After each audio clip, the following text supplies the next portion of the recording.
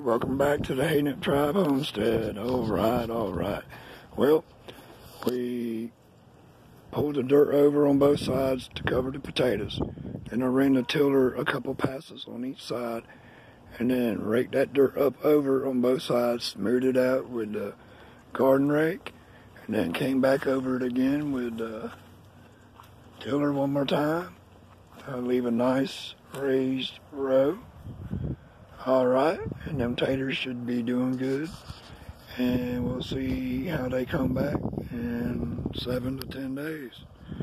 Happy gardening, y'all. Remember to like, subscribe, hit that bell, and comment if you would.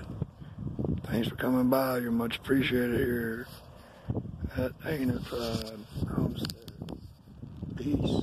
I'm out of here, y'all. Much love and respect. I'm gone.